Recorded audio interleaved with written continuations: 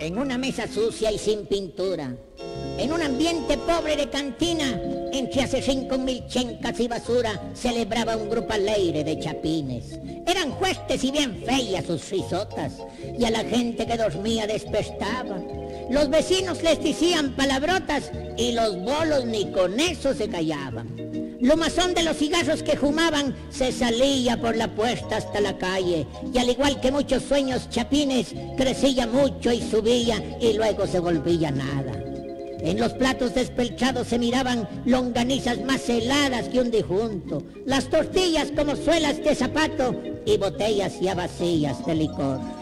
Había que ver aquel relajo, aquel tanate turbio de muchachos que contaban sus amores ya pasados, que alegaban edades de borrachos y también contaba chistes colorados. Con cada chahueguaro que se echaban, más aguados se les ponían los ojos.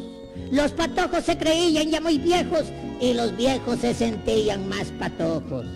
Se me estaba ya olvidando que chupaban celebrando el 31 de diciembre. Despedían ese año que se iba y esperaban el otro año que venía, con timás que a saber qué les traería. Una voz que ya no muy se entendía dijo de repente, ya son las doce mucha, a pararse para darnos el abrazo. Son las doce y este año ya se va. Y cada uno fue brindando con su vaso. Pues brindemos por el año ya viejito y por él se va este chago a la barriga. Este año tal vez tuvo algo bonito, porque al fin son doce meses de la vida. Brindo, dijo otra voz, pero no por el alcalde, pues no vaya a ser, señores, que por esto se le antoje que yo pague algún impuesto y no tengo ya más cera que la que haste.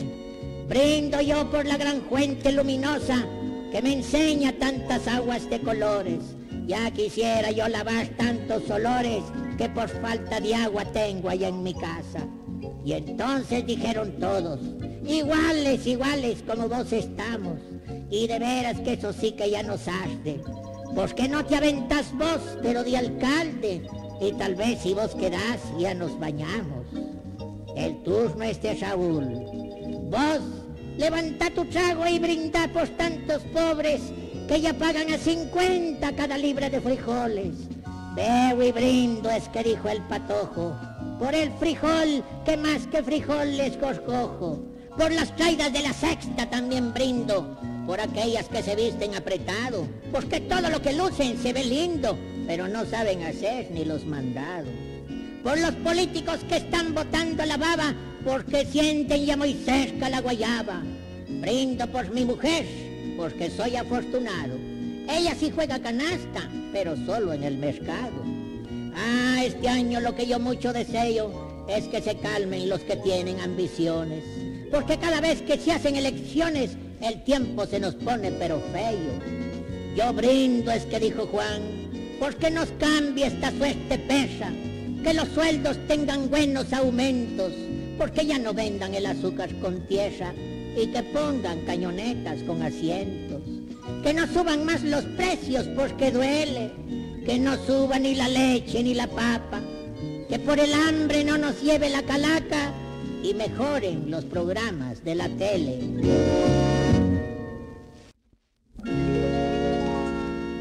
Siguieron hablando cosas, y eran cosas tan humanas de esas que en las mañanas habla la gente en las casas. Y a cada bendis que había, el gran relajo se armaba. Y algunas gentes decían que eso ya no se aguantaba. Se brindó porque ya viene la elección. Hablaron de un tal chalillo, se tronaron el pocillo, pero llegó un policía y allí paró la cuestión. Solo faltaba un brindis, el de Asturo, aquel que fumaba puro y le hacían el checa porque era muy cabezón, aquel que siempre escribía y que a las traídas decía muchas flores con canción. Él ya estaba algo socado, pero al fin levantó su trago y se sintió un escalofrío entre todo el bolerillo. Sacó un pañuelo para limpiarse la baba, sacudió su melena despeinada y habló, pero clarito y lento. Brindo por la mujer, es que les dijo, mas no por esa en la que solo se piensa con el guaro y la cerveza, no por esa que solo a los majes hechiza con pinturas, mentiras y tanta cosa postiza, esa que se quede allá. Yo no brindo por ella, mucha. Brindo por esa mujer bendita que sufre mis borracheras, que espera noches enteras y por eso está viejita. Aquella que sin enojo lavaba ropa y cosilla y así ganaba el panito para ella y sus tres patojos. Por mi madre, mucha. Por esa vieja canosa que dejó a aquel hombre ingrato solita con sus tres hijos cuando era joven y hermosa. Por ese corazón puro que tanto le pide al cielo que su hijo sea un consuelo y que tenga un buen futuro. Yo brindo por mi viejita, y unas veces me regaña y si está alegre me canta. Por esa mujer bendita que igual a la virgencita la miro yo como santa. Pero ¿para qué estoy brindando con tanto guaro y cerveza? Mientras ella con tristeza seguro que está llorando. Yo ya no sigo chupando. Quiero aclarar mi cabeza para ser bueno con ella. Llegas bien tarde aunque sea. Decirle que lo que cesa ya se le está realizando. Y Arturo ya no brindó. Dejó en la mesa su trago, sacó un billete arrugado y todito es que pagó. Después se quedó callado. Los otros cinco entendieron y uno tras de otro salieron ya cada uno por su lado.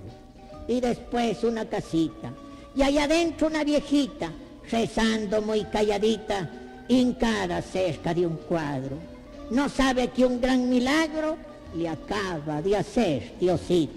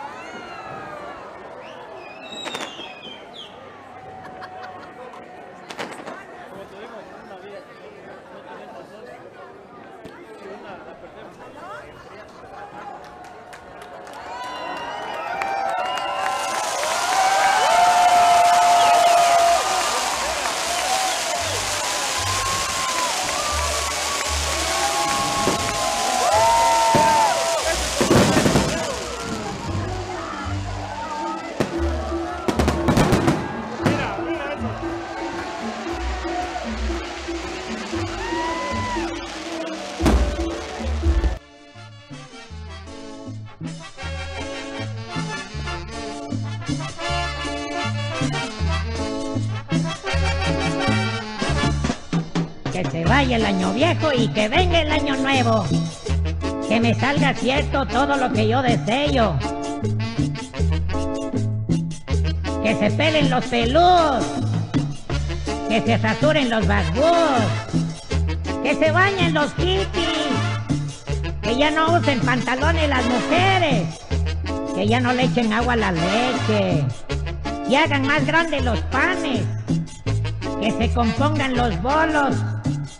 Que busquen chance los vagos. Que las mujeres ya no miren tantas telenoviejas y atiendan más a los maridos. Que tapen los hoyos de las calles. Que abunden las patojas chulas. ¿Para qué queremos tantas feas? ¡Feliz año nuevo, muchachos!